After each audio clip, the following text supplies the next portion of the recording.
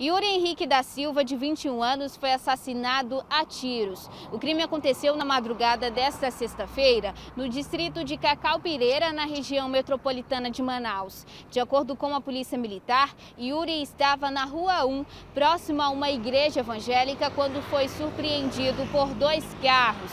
Os suspeitos estavam nos carros e atiraram contra ele, que morreu no local.